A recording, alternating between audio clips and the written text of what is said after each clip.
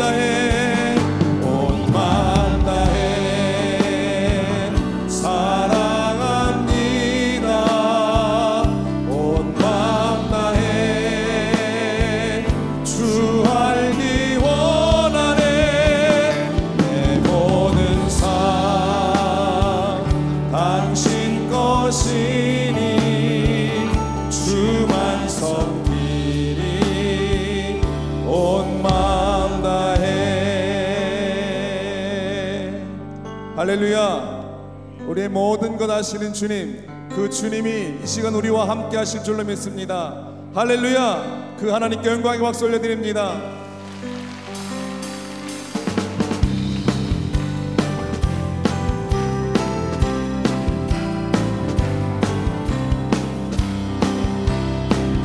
예수가 거느리시니 즐거워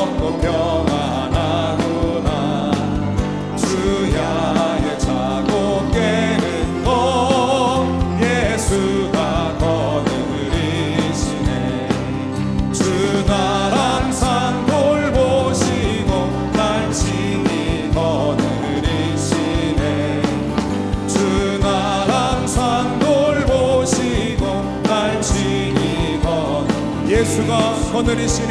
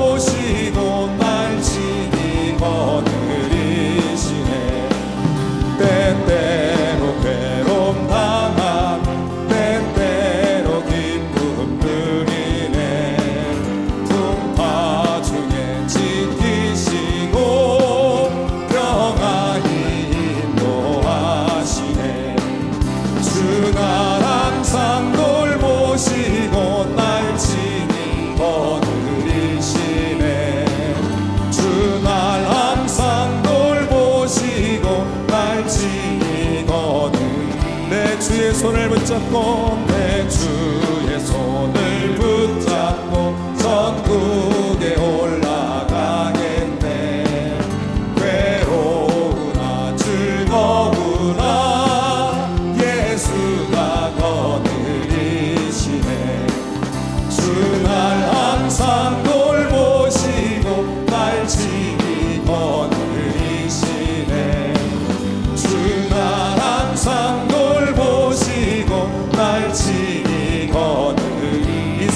이별할 때에 이세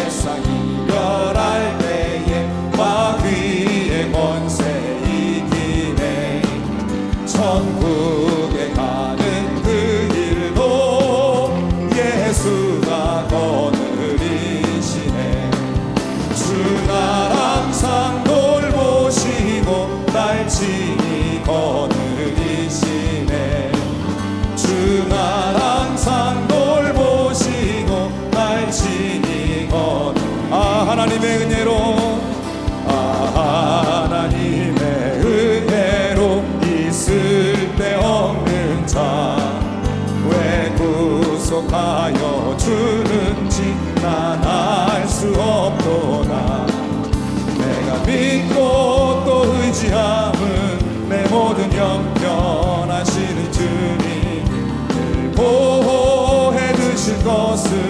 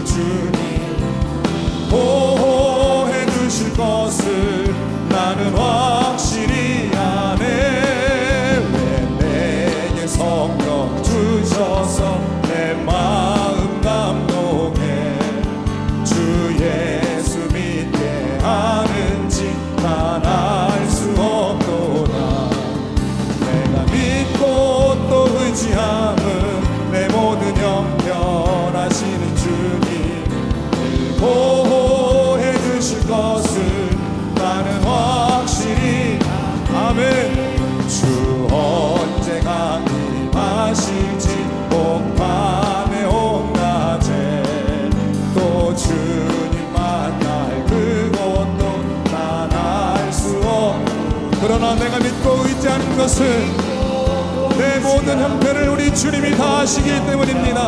할렐루야!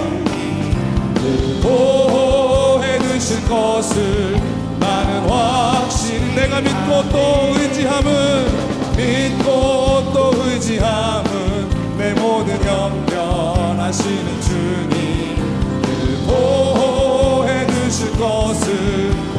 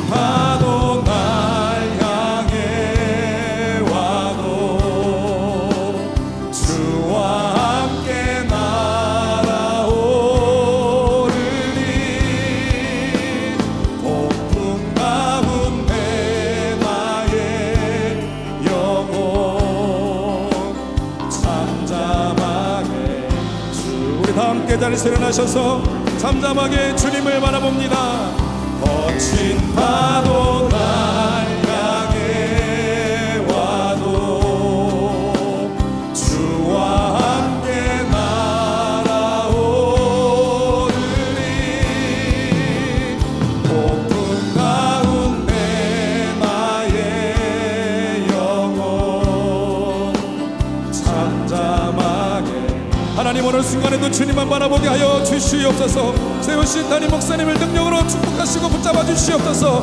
우리 주님의 이름을 세모로 다시기도 하시겠습니다. 주여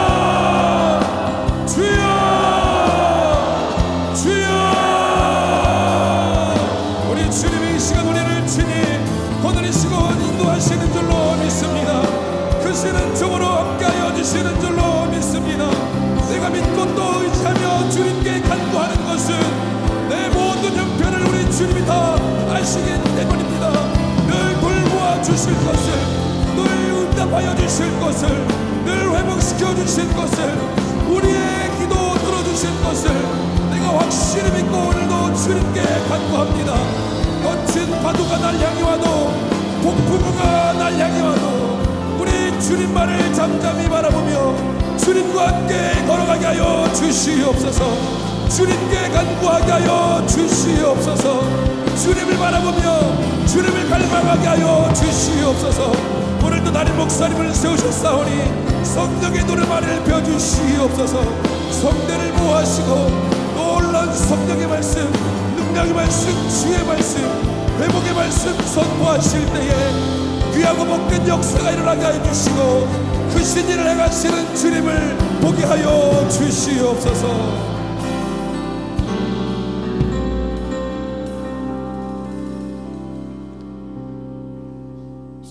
역사하시는 전능하신 하나님 어제도 주의 은혜 안에서 편히 쉬게 하여 주시고 새날 새 시간에 저희들의 걸음을 하나님의 귀한 전에와 하나님 앞에 엎드려 기도할 수 있게 하심에 감사합니다. 밖에 많은 비가 내리듯이 이 시간 성령의 비가 충만하게 이 자리에 임하게 하여 주셔서 우리의 메말랐던 심령이 아버지 하나님이여 해갈의 역사를 경험하는 것처럼 풍성한 은혜를 경험하는 이 시간 되게 하여 주시옵소서. 아버지 하나님여 새벽을 깨우며 하나님 전에 올라와 기도하는 당신 백성들의 거룩한 기도를 들어주시사 하늘의 문이 열려지고 우리 안에 응답의 역사가 임하여 하나님의 살아계심이 만방에 선포되는 역사가 나타나게 도와 주시옵소서. 새벽을 깨우며 간절히 기도하는 것 주께서 아시는 줄 믿습니다 아버지 하나님이여 이 나라 이 민족을 위해 간절히 기도하는 것 하나님이 아시는 줄 믿습니다. 이 민족 함께하여 주시고 전쟁의 아버지 하나님이여 불안과 공포스러운 이야기들은 다 물러가게 하여 주시고 이 땅이 하나님이시는 샬롬의 축복이 넘쳐나는 땅 되게 하여 주시옵소서. 저 북녘에 아버지 이렇게 기근이 들고 아버지 하나님이여 가뭄이 들어섰는데도 아버지 행복을 만들며 아버지 하나님이여 미사일을 쌓아드는 저 강박한 자들의 마음을 주께서 녹여주시고 만져주시사 아버지 다 사라지게 하여 주시고 저 북녘의 땅과 저 백성의 구원과 해방의 역사가 임하게 하여 주셔서 이 한반도의 땅에 하나님이시는 샬롬의 축복이 임하게 하여 주시옵소서. 아버지 하나님이여 이 나라의 정치와 경제와 사회 모든 분야에 하나님이 다스려 주시사 정치가 아버지 속히 하나 되게 하여 주시고 한 마음 되게 하여 주셔서 이 백성을 위해 일할 수 있는 지정자들과 아버지 하나님의 정치가 되게 하여 주시옵소서. 아버지 하나님의 너와 내가 나눔이 없게 하여 주시고 갈등과 반복이 사라지게 하여 주시고 더 이상 이념으로 인하여 아버지 하나님의 논쟁하거나 소모적인 일이 없도록 주께서 도와주시사 하나 되어 국익을 위하여 백성을 위해 일할 수 있는 위정자들이 되게 도와주시옵소서. 아버지 하나님의 참으로 경제의 파고도 넘고 세계 곳곳에 아버지 자국적인 이익을 위해 쓰는 이때에 이 나라의 경제를 지켜주시고 아버지로 인하여 하나님이 주는 축복을 누리는 이 나라의 백성이 되어줄 수 있도록 주께서 도와주시옵소서 하나님의 축복은 이 나라가 이 백성이 하나님께로 돌아와야만이 하나님의 축복이 많은 줄 믿사오니 죄와 모든 것을 자복하고 회개함으로 돌이켜 하나님 전에 하나님께 돌아오는 이 백성 되게 주셔서 하늘의 축복을 누리는 이 나라 이 백성 되게 도와 주시옵소서. 험하고 탄 것들은 다 물러가게 하여 주시고 좋지 못한 생각들 다 사라지게 하여 주시며 건강한 사회 서로 상생하는 이 사회가 되어줄 수 있도록 도와 주시옵소서. 아버지 교회들마다 부흥하기를 원합니다. 아버지 진리가 되시고 생명이 되시는 예수님을 높이 깃들고 열방과 아버지 민족 구원의 구정열에 불타는 한국교회가 되게 하여 주시옵소서. 교회를 무너뜨리는 악한 영의 역사는 다 물러가게 하여 주시옵소서 아버지 광림의 재단을 세워주셔서 하나님의 거룩한 역사를 이루가게 하심에 감사합니다. 하나님만이 영광이 받으시는 이 교회 모든 일들이 되게 하여 주시며 이 재단에 향하는 이 모든 역사들이 주님을 기쁘시게 한들만 나타나게 도와 주시옵소서. 성령과 말씀과 은혜가 충만한 재단 되게 하시고 기적과 이사가 나타나는 재단 되게 하여 주시며 하나님을 향한 올바른 바른 순종과 아버지 말씀의 역사가 있는 이 재단 되게 도와 주시옵소서. 아버지 거룩한 역사를 위하여 기관과 부서를 세우셨사오니 기관과 부서마다 부흥하게 하여 주시옵소서.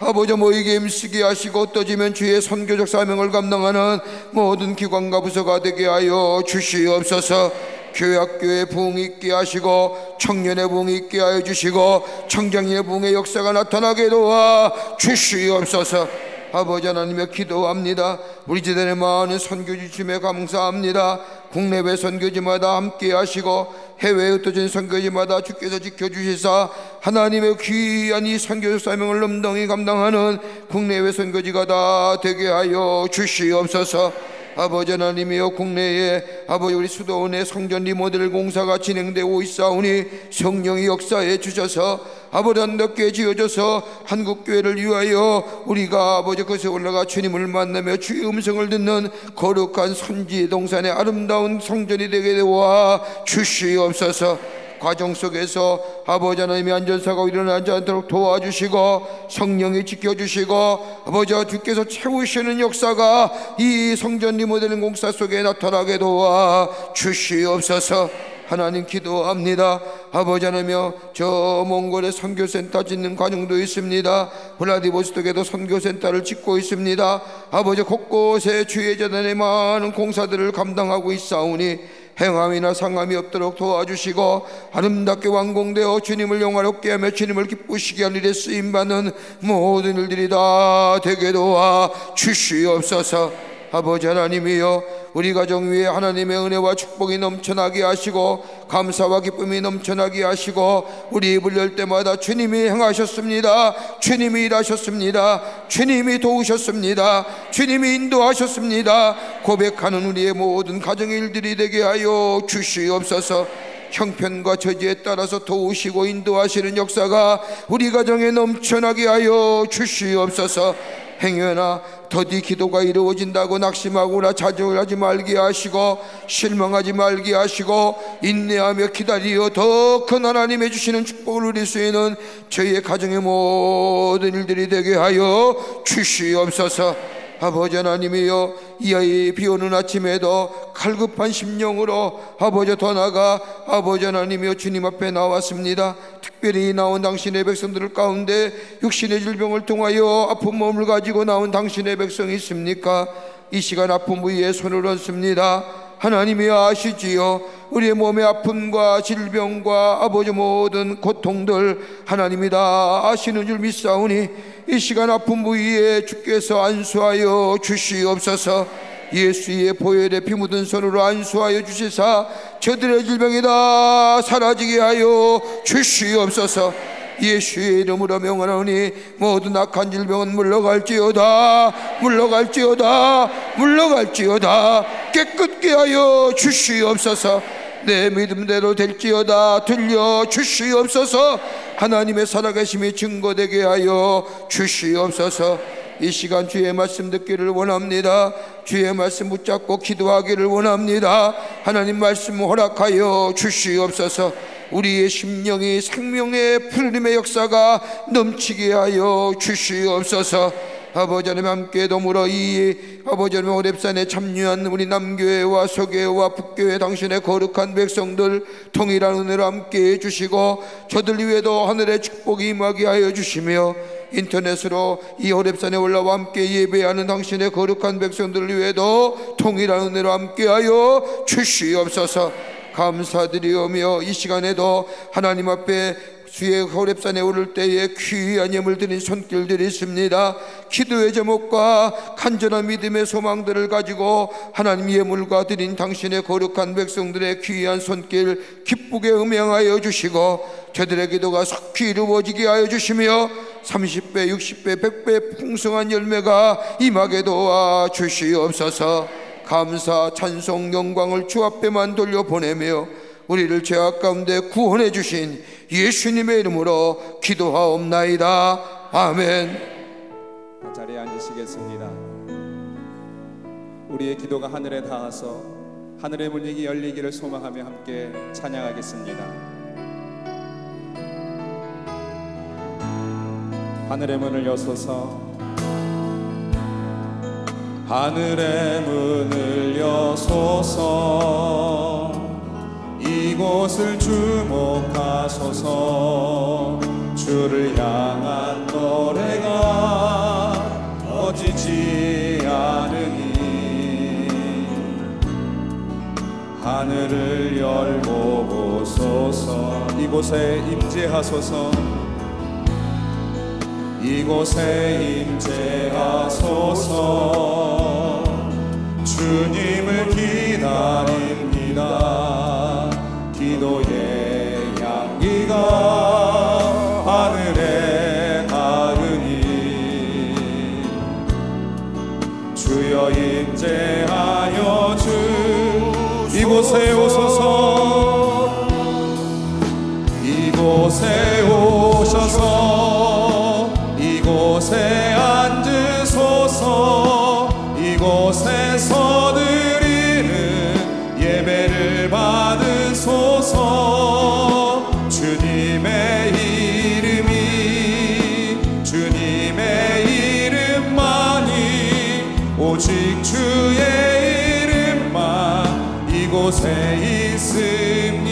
이곳에 오셔서 오셔서 이곳에 앉으소서 이곳에서 드리는 예배를 받으소서. 주님의 이름이 주님의 이름만이 오직 주의 이름만 이곳에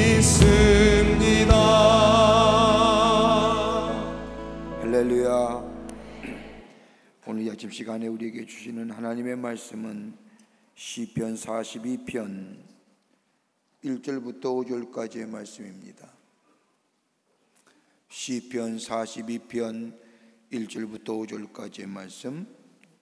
우리 남교회와 서교회와 북교회 우리 학- 이 호랩산에 참여한 성도님들과 인터넷으로 온 세계에서 함께 이 호랩산에 함께 찾아온 모든 분들 시편 42편 1절부터 5절까지의 말씀 우리 함께 한 목소리로 봉독하도록 하겠습니다. 42편 1절부터 5절까지의 말씀입니다. 하나님이여 사슴이 시냇물을 찾기에 갈급함 같이 내 영혼이 주를 찾기에 갈급하나이다. 내 영혼이 하나님 곧 살아계신 하나님을 갈망하여 하나님이여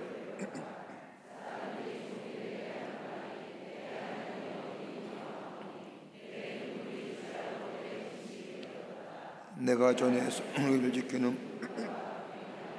감, 감사의 소리를 내며 그들을 하나님의 집으로 인도하였더니 이제 이 일을 기억하고 내 마음이 상하는도다. 내 영혼아 내가 어찌하여 낙심하며 어찌하여 내 속에서 불안해하는가? 너는 하나님께 소망을 두라. 그가 나타나 부으심으로 말미암아 내가 여전히 찬송하리로다. 아멘 할렐루야. 여러분 이 말씀 그냥 읽어도 우리에게 은혜가 됐죠? 예. 그냥 아무 생각 없이 읽으셨습니까? 아니실 겁니다.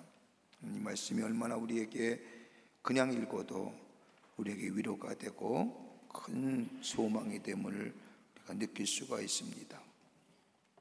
1918년에 저 미네소타의 한 탄광촌의 작은 사진관에 찰스 윌렌이라고 하는 노인이 신발 흙털개를 탈기 위해서 사진관에 들어왔습니다. 노인이 몹시 지쳐 있었고 남루하고 마른 이 노인이 테이블에 잠깐 앉아서 쉬면서 그의 가방에서 작은 것에 담겨져 있는 스프와 거름빵 하나를 꺼냅니다. 그리고 간절히 기도합니다. 이 모습을 본 사진 작가인 엘리 엔스트롬이라는 작가의 마음에 큰 깊은 감동과 전율을 주었습니다.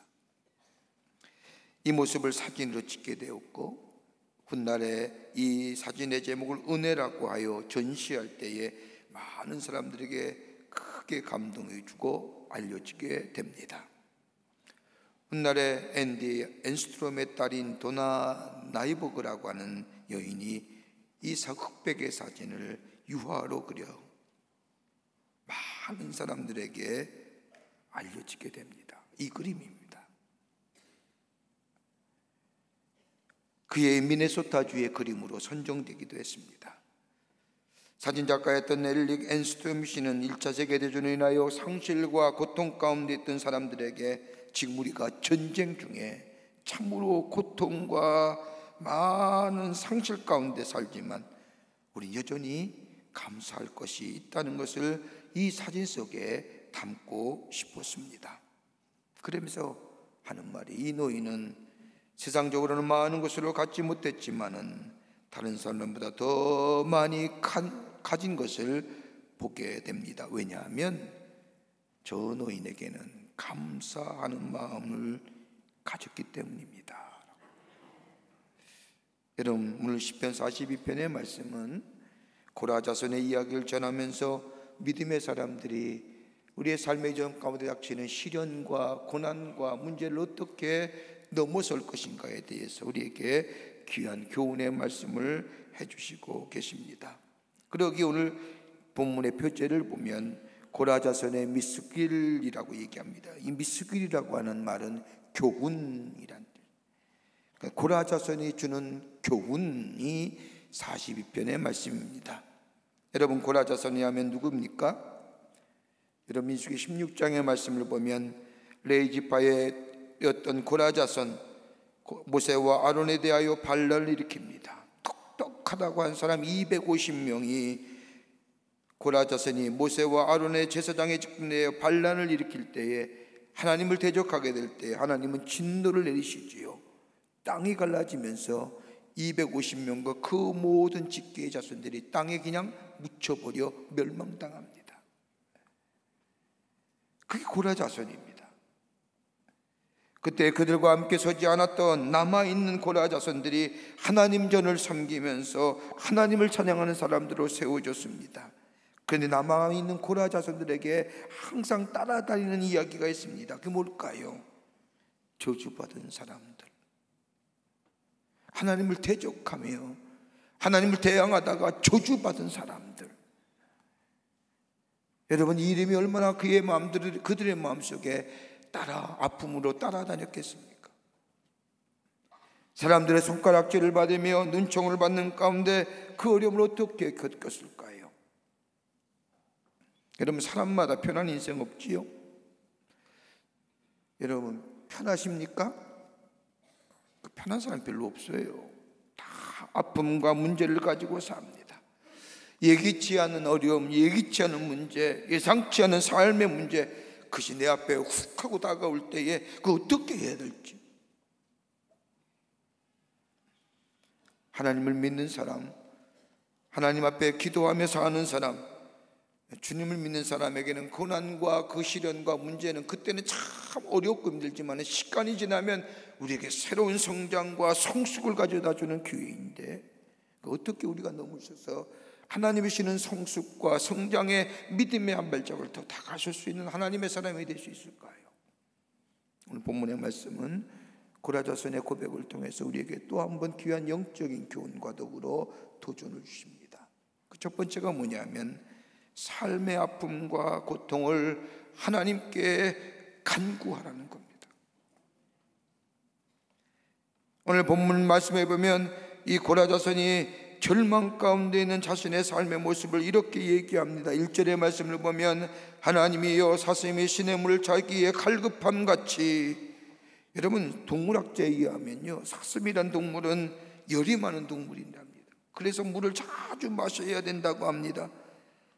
물을 많이 마시고 자주 마셔야만이 몸에 열을 시킬 수가 있다는 겁니다. 그러기에 사슴의 물에 물이 제대로 공급되지 아니하면 견딜 수가 없는 겁니다.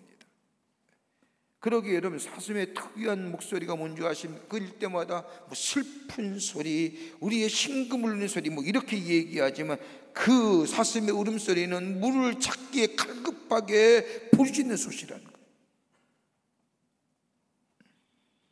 오늘 시편 기자는 마치 사슴의 물을 찾아 갈렙함 같이 내 앞에 있는 이 문제 많은 사람들이 나를 향하여 얘기할 때마다 저주받은 백성이라 얘기하며 나를 방하여 얘기할 때마다 하나님께 대적하던 자들의 모습이라고 얘기하며 내 삶에 예기치 않은 삶의 문제 마치 사슴이 신의 물을 찾아 갈픈 것 같이 이 문제, 이 절망, 이 좌절 어떻게 넘어서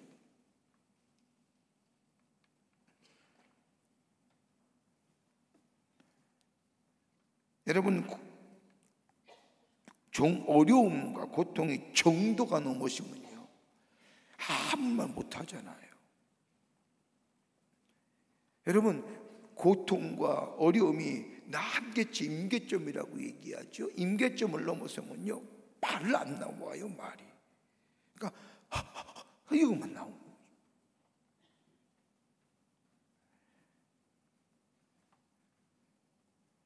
이러한 상황 속에 있는 이 시편 기자는 하나님 앞에 그가 당하는 고통과 그 고통을 인하여 생기는 자신의 감정과 아픔을 그대로 하나님 앞에 아뢰입니다.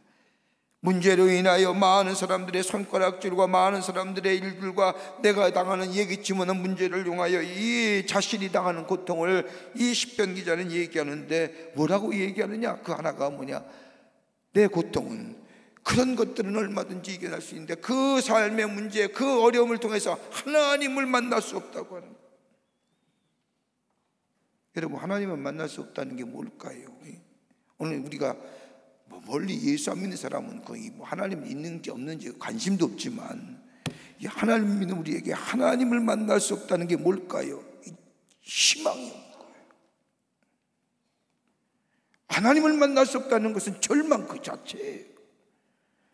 여러분 오늘 이 비를 뚫고 장대빛을 뚫고 저도 비 맞고 그대로 왔는데 아랫바지가 다 젖었어요. 그래서 지금 축축하지만 말입니다. 여러분 이 장대빛을 뚫고 이렇게 하나님 전에 나와서 하나님 전에 엎드릴 수 있다는 게 어떤 걸까요? 하나님 앞에 기도하면 하나님이 내 기도를 들어주시고 나를 만나 주실 것이라고 하는 그 믿음이 있게 이 자리에 나온 거 아닙니까? 그런데 오늘 시편 기자는 뭐라고 해요? 하나님 만날 수 없다. 그런 희망이 없는 거지요. 또 하나 있습니다. 내 안에 즐거움과 기쁨을 다 잃어버렸다는 겁니다. 상실이죠. 여러분 오늘 고레자서는 하나님의 전을 지키는 자들입니다. 하나님을 지키는 전자들이 기쁨이 뭘까요? 레위 자손의 기쁨이 어떤 걸까요? 하나님 앞에 예배드려 온 하나님의 백성들과 함께 하나님의 전을 인도하며 하나님의 전에 들어갈 수 있다는 거예요. 여러분 이건 레위 자손, 고라 자손이 갖는 가장 큰 기쁨입니다. 아무나 성소에 못 들어가잖아요. 그러기에 고라자손이 하나님 전에서 찬송하며 하나님을 전혀 섬기던 이 고라자손이 예배하고 온 저 성도들을 이끌고 하나님의 거룩한 물을 이끌고 하나님의 성소에 들어가는 그 기쁨 그런데 그 기쁨 일이 없어졌다는 거지요. 그리고 자신에게 기쁜 일이 없으니 뭐예요? 더 이상 삶의 의미가 없다는 겁니다. 좌절과 절망이지요.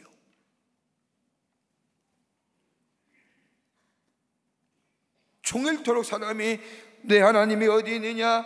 너는 하나님으로부터 버림받은 족속이 아니냐? 이 이야기 조롱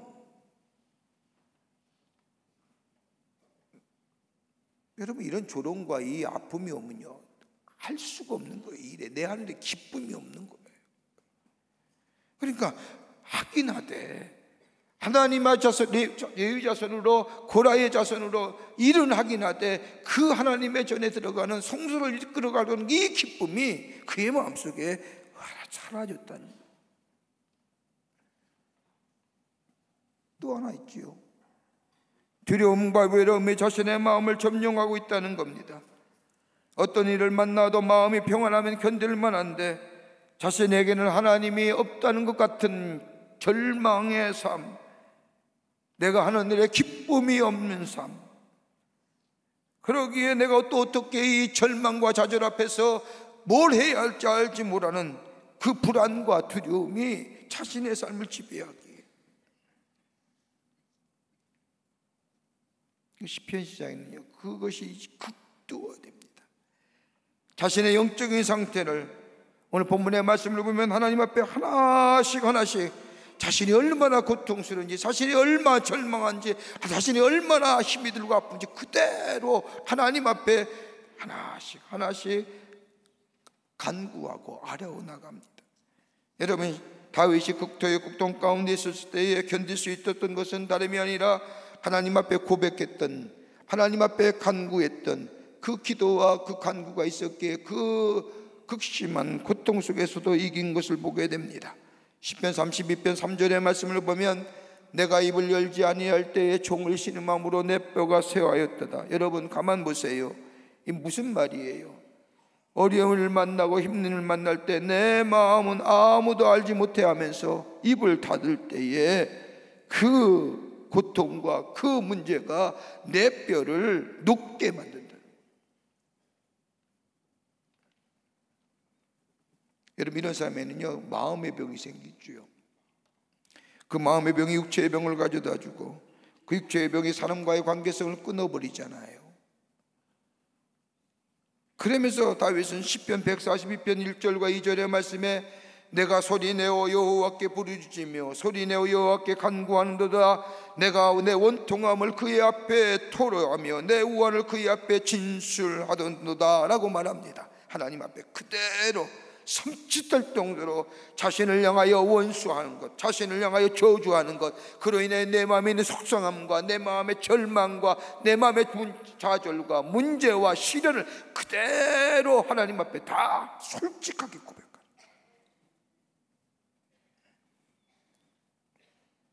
여러분, 그 고백이 다윗이 뭐라고 고백합니까? 그 고백이 있은 후에 시편 62편 8절의 말씀을 보면 백성들아 시시로 그를 의지하고 그의 앞에 마음을 토로하라. 하나님은 우리의 뭐가 되신다고요? 피난처 되십니다.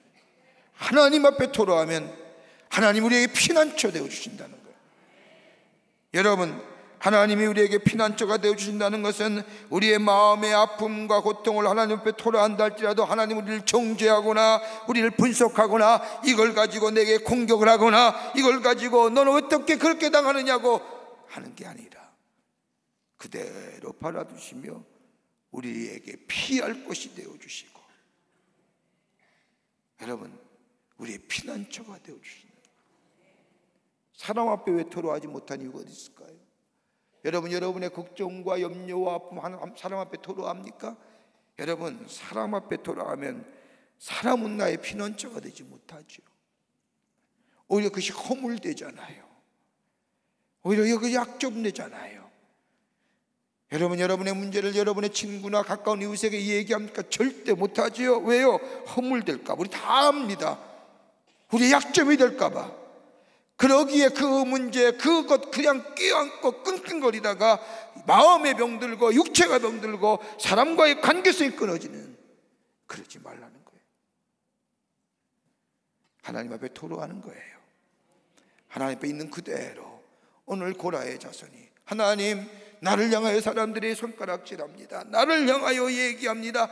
너는 하나님 앞에 버림받은 족속이요. 너는 하나님 앞에 폐역한 족속이요. 그로 인하여 내 마음이 얼마나 아프고 내 마음이 상실되고 내 마음이 얼마나 힘이 든지요. 그 있는 그대로. 그럴 때 하나님 우리의 뭐가 되어주세요? 피난처 되 오늘 그런 은혜가 우리과 여러분 가운데 있어지기를 축원합니다. 두 번째는요. 자신을 돌아보는 기회로 삼았다는 겁니다. 오늘 시편 말씀을 보면 42편의 짧은 말씀이지만 내 영혼아 내 영혼아 내 무려 네 번이나 나옵니다.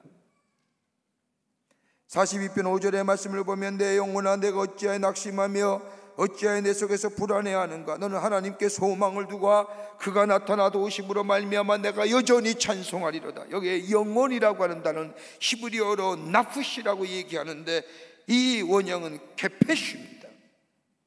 이 말은 soul, life. 단순히 영혼과 뭐 이런 삶의 육체의 생명을 얘기하는 게 아닙니다. 여기서 얘기하는 영혼이란 단어는 내 삶의 전체 전인적인 겁니다. 그래서 여기서 내 영혼이라는 것은 내 전인적인 내 안에 영적인 것, 내 안에 마음과 감정적인 것, 내 육체적인 것, 내 전인적 인격을 얘기하는 겁니다. 그러기에 자신의 삶의 아픔과 고통의 문제를 돌아보면서 내 영혼아, 내 영혼아. 이 말은 다른 말로 말하면 내 삶의 문제가 어디로부터 시작되었는가를 찾는 시편 기자의 고백입니다. 고통과 시련의 문제를 가지고 다른 외부적으로 다른 사람에게 다른 여건으로 원인을 찾는 것이 아니라 내 영혼아 나를 부르면서 내 영혼아 내 영혼아 하나님 앞에 이 시련과 이 고통과 이 문제의 원인을 하나님 앞에서 찾아보고자 하는 겁니다. 하나님 앞에서 내 영혼을, 내 삶을, 내 마음을 뒤돌아보면서 이 문제의 원인이 어디 있었는지. 여러분, 우리는 다 이 문제가 생길 때마다 외부로 돌리잖아요. 환경에 처하고 여건에 얘기하고 저 사람 때문이야. 그때 저 사람이 도와줬으면 저 사람이 뭔가 좀 도와힘을 써주면 다 우리의 문제를 외부로 돌리는데 오늘 시편 기자 뭐예요? 그렇게 내 영혼아. 하나님 앞에서 내 전인적인 모습으로 서서 정직한 자로 허니스트리하게 나를 돌아보는 겁니다. 여러분 가만 보십시오. 우리가 문제의 원인을 찾는데 우리의 삶 속에 문제가 일어나기 전까지는요 무려 300번의 작은 것들의 사건들이 우리 가운데 있었다는 겁니다.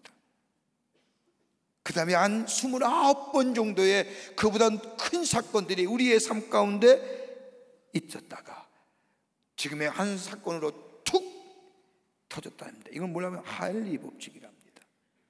우리 성도님 가운데 보험 처리하는 일하시는 분들 계시면 이 보험회사에서 가장 많이 적용하는 법칙입니다. 독일의 보험회사, 독일의 한 보험회사 직원이었던 하일리라고 한 사람이 가만히 보험회사 일을 하다 보니까 하나의 사건, 뭐큰 사건이 일어날 때 보면 30번의 여진, 조그만 사건들이 모였다는 겁니다. 그리고 그전에는 약 300번의 소소한 사건들이 모여서 일어났다는 겁니다. 여러분 성경 말씀을 가만히 보세요. 삼손이 하루아침에 눈이 빼지고 저 블레셋 진영에 가서 여러분 저 바위를 굴리는 사람이 되었을까요? 성경 말씀을 가만히 보세요. 사람들의 조롱거리가 되고 웃음거리가 된 것은 삼손이 드릴라를 만나기 전에 이미 여인들 앞에 유혹에 노출된 거잖아요. 우리 삼손과 드릴라만 얘기하죠. 성경 앞에 남은 이미 삼손은 저 세상의 여자들에게 저 많은 여인들에게 이미 유혹에 노출되었다. 여러분 베드로가 저 예수님 앞에서 예수님을 모른다고 세 번씩 부인한 게 그때 일입니까? 이미 성경 말씀을 가만히 보면 예수님께서 얘기하지 않습니까? 너희는 시험에 들지 않게 기도하라 했는데 베드로는 어때요? 쳤잖아요. 예수님이 너는 나를 세 번 부인할 것이라고 얘기할 때 예수님의 말씀에 자신을 뒤돌아보며 점검해야 할 기회에 베드로 뭐라 무슨 말씀입니까? 다른 사람 다 볼지라도 나는 안, 닙니다 라고 얘기했잖아요. 여러분 이렇게 보면요 오늘 나에게 일어난 문제는 단순히 어제 오늘의 문제가 아니라 이미 하나님 앞에서 무엇인가 우리의 삶 속에 진행되어 왔어 나타냈기 때문에 드러난 현상 오늘 시편 기자는 내 영혼아, 내 영혼아 찾는 것은 뭐 전인적인 모습을 가지고 하나님 앞에서 내 삶이 어떤 모습으로 어떻게 여기까지 왔는지 뒤돌아보는. 여러분 문제의 원인을 아야 문제가 해결되지 않습니까?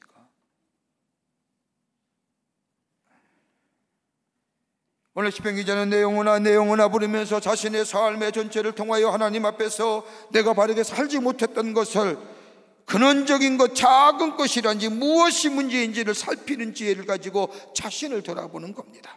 다른 사람에게 문제의 원을 돌려서 불평하거나 원망하지 않습니다. 다른 사람에게 문제를 돌릴 뿐만 아니라 내 자신의 이것이 나의 자신의 문제요. 나를 자책하며 나를 비하하며 하는 것이 아니라 하나님 앞에 그 문제를 가지고 내 영혼아, 내 영혼아,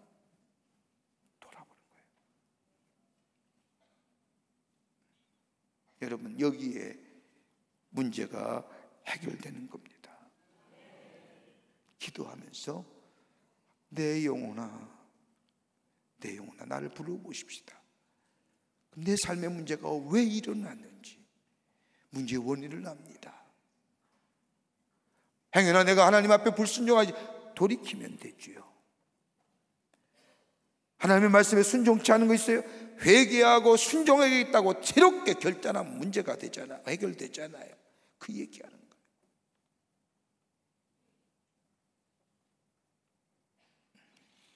우리의 삶이 문제가 있고 어려울 때마다 힘이 들 때마다 내 자신의 영혼을 하나님 앞에서 내 자신의 마음을 내 자신의 것들을 하나님 앞에서 다시 한번 살펴보는 기회.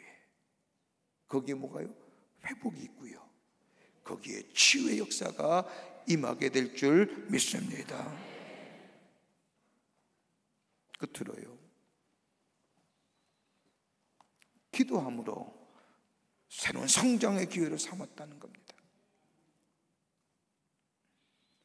시편 기자는 기도함으로 시련과 절망의 시간을 극복하고 새로운 성장의 기회로 삼았습니다. 기도하면서 자신에게 베푸신 하나님의 은혜를 기억해냈습니다. 믿음의 기억들, 믿음의 기억들을 세수해.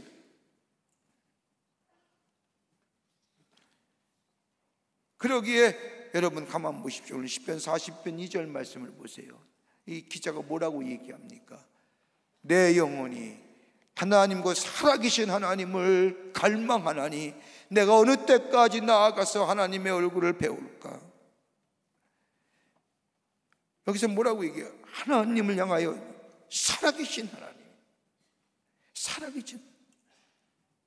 이 살아계신 하나님이란 말은 두 가지의 의미가 이 시편 기자의 고백에 담겨져 있습니다. 하나님이 아니라 하리 내가 믿는 하나님은 나와 함께 하시는 하나님께 하시는 하나님은 살아계셔서 내 문제를 알고 계시고 통치하고 계시고 나의 아픔과 고통과 절망을 능히 물리칠 수 있는 능력의 하나님이 되십니다라고 하는. 여러분 이 고백이 없이는요 하나님의 만지심이 없는 거예요. 우리가 내일도 우리가 다시 한번 말씀을 좀 살펴보는데 어떻게 치유의 역사와 회복의 역사가 있는 줄 아세요? 믿음의 고백이 있는 거예요. 오늘 이 시편 기자도 하나님을 향하며 살아계신 하나님이에요.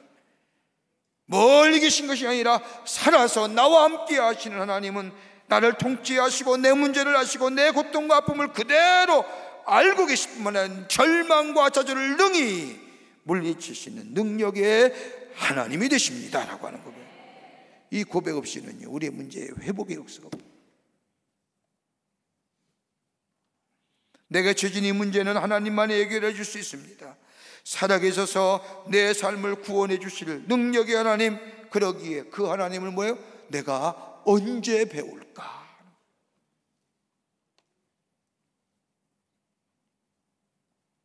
또 하나의 살아계신 하나님이라는 고백 속에는 나를 생존케 하시는 하나님이라는 의미입니다. 나를 생존케 하시는 하나님. 1절의 말씀을 보면 사슴을 찾는 시냇물이라고 쓰여진 이 시냇물에 따라는 아카페라고 이 아키페라고 얘기하는데 주로 강바다 골짜기 이런 뜻입니다. 이것이 가지는 공통적인 의미는 여름에도 메말리지 않고 늘 물이 흐르는 골짜기. 여러분 사람이 사슴이 생존할 수 있었던 것은 골짜기에 물이 있을 때에 사슴이 살아날 수 있다는 것처럼 하나님만이 나의 삶에 하나님만이 나를 생존케 하시오.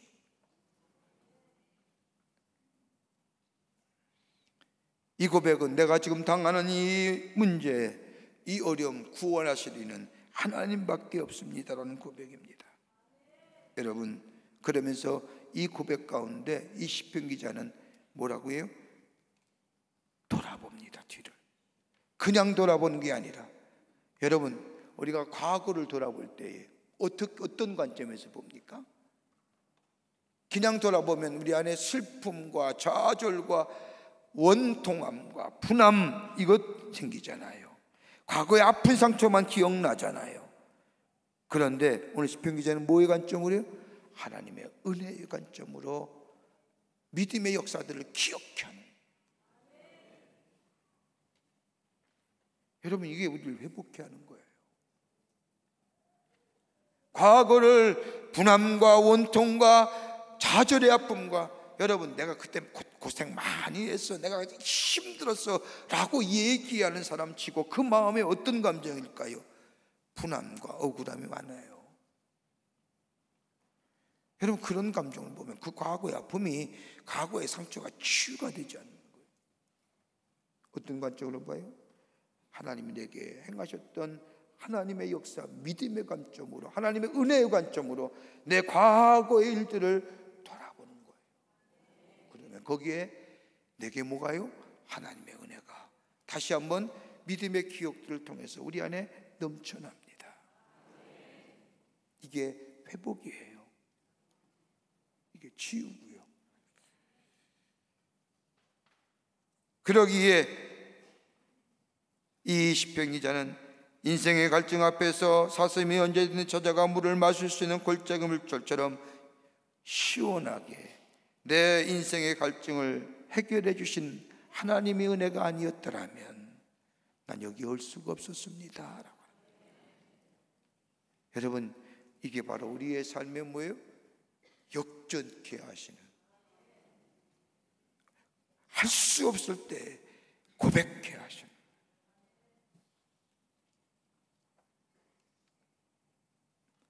그러게 시편 기자는 오늘 본문의 말씀 주님과 함께 거했던 그 믿음의 좋은 기억들을 생각하는 겁니다. 내가 그때 즐거웠던 때가 어느 때였지? 주님의 은혜를 안에서 내가 기뻐했던 때가 어떤 거였지? 내가 남에게 인정받았던 때 똑똑하다고? 여러분 고라 자손들 똑똑했거든요. 여러분 이스라엘 광야 이스라엘 백성이 광야에서 저 출애굽하여 광야를 할 때에 감히 어떻게 저 모세와 아론에 대하여 당신만 레위 지파입니까? 당신만 하나님의 사람 제사장 될 수 있습니까? 나도 레위 지파요. 나도 될 수 있습니다라고 얘기 그만큼 자격이 갖췄기 가능한 거죠. 자격이 되지 않으면 흔한 말로 되지 않으면 얘기도 안 되는 건데. 똑똑한 사람들입니다. 남에게 똑똑하여 인정받았던 내가 승승장구했고 나의 사업이 잘 되고 내가 다 잘 될 때 뭐 이럴 때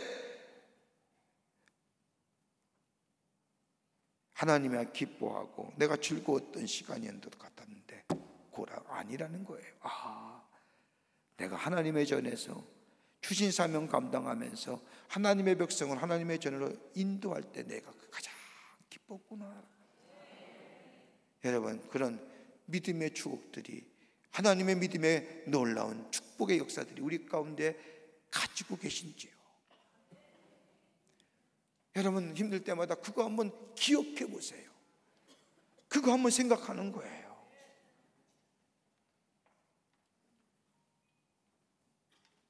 우리에게 아침 우리의 자비와 긍휼을 베푸신 하나님, 날마다 새롭게 하셨던 그 하나님, 그 믿음의 기억들을 생각할 때에 내가 지금 이 어려운 가운데 있지만은 내가 이 힘든 문제를 가지고 정말로 가슴 아파하며 쥐어짜 넉넉히 이기게 하시는 그 은혜가 우리 가운데 있게 된다는 겁니다.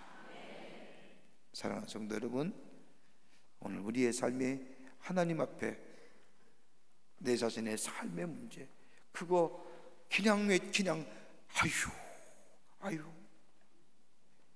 한숨만 쉬는 것이 아니라 있는 그대로 하나님 내 이렇습니다.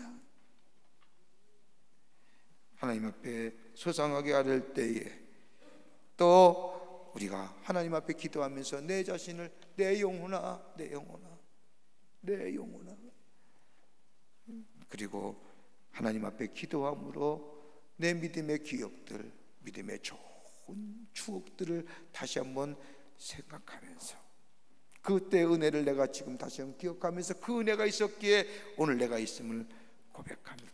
우리 안에 하나님이 주시는 회복이 하나님이 주시는 치유가 우리 가운데 임하게 될 줄 믿습니다.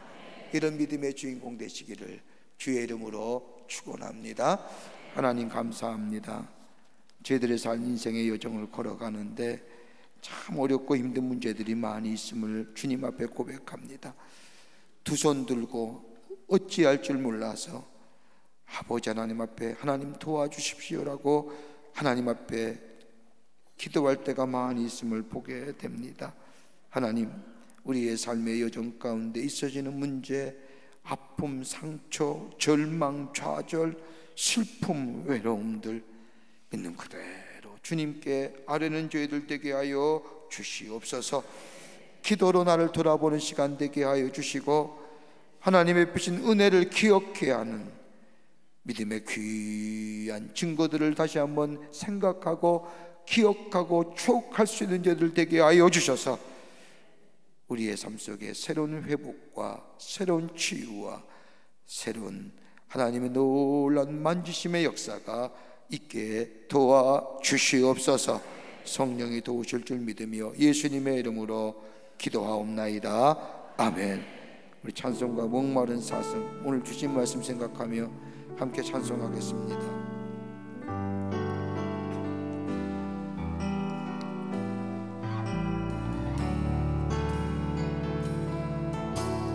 목마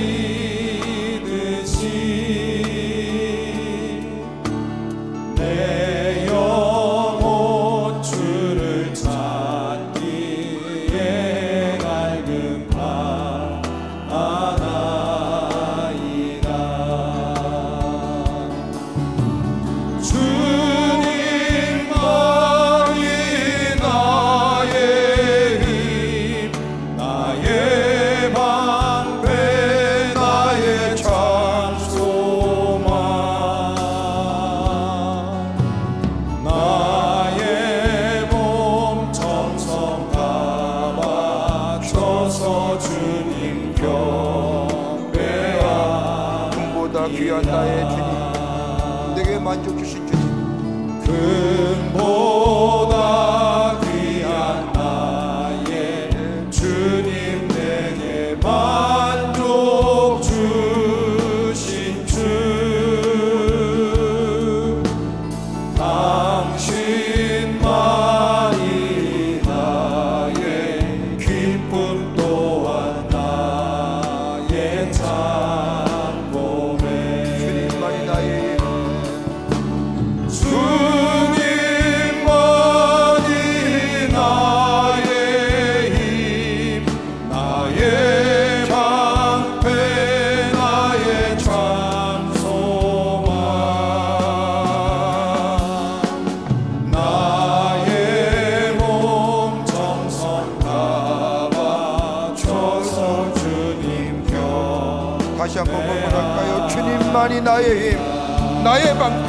나의 참 소망.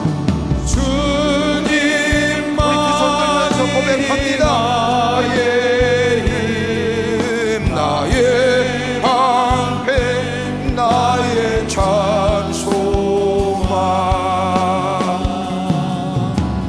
나의 몸 정성 다 바쳐서 주님 곁. 나의 몸 정성 다 바쳐서 주님 경배합니다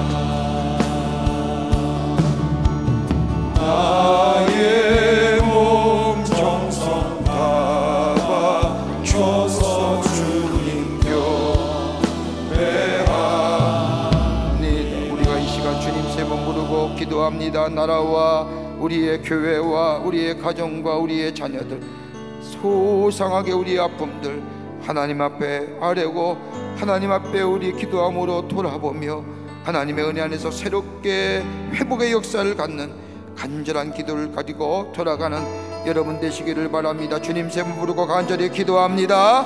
주여! 주여! 주여 살아서 역사하시는 전능하신 하나님 아버지 하나님의 은혜와 사랑을 생각할 때 감사를 드립니다.